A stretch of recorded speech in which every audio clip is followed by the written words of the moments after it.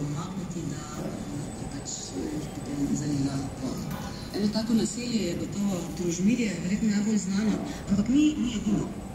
Ne, Družmirje je eno od takšnih zagotovo mm, veliko, ker tudi njegovo mm, druženje je bilo fotografirano, medtem ko prvo naselje